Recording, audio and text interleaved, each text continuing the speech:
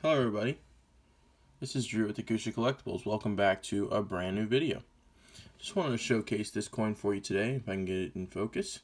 Uh, you just see the rainbow toning above the head, the rainbow toning up uh, below the chin. This is a tape-toned uh, dollar. It was held in by tape in an album. Um, it just has some amazing color on the obverse. Um, it may have looked clean, as you can see in the in God. There's a little bit of a wear mark. It's kind of hard to see. Um, and I'm also seeing a little scratching right here. It's giving me a little bit of a red flag. Um, I do enjoy the color of it, and that's kind of why I picked it up. And if we flip it over to the reverse, we can also see just some nice uh, tarnishing or, you know, toning on the back. Um, you just It's just so beautiful. It's got really nice luster. I would still say it's a mint state grade.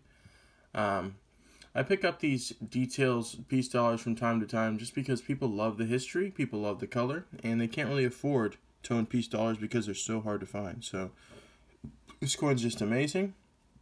But let me show you the other one. Here is the other one.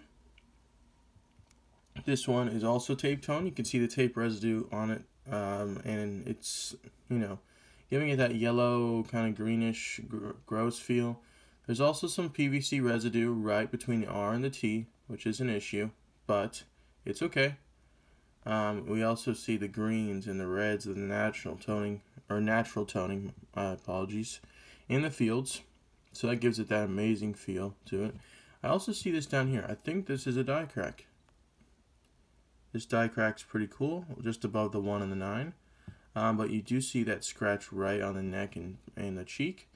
That is a details grade. That'll send it right back to me in a body bag. So uh, I just wanted to showcase these uh, raw coins for you today because they're just so lovely.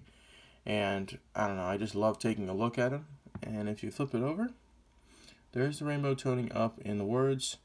But we're seeing some wear on the eagle and we are seeing the luster gone, which means this is an AU coin. So uh, it's an AU details coin, but it's just something of character, something that someone would love. So I wanted to uh, buy these and sell them. If you're interested in these, um, my eBay name is in my description.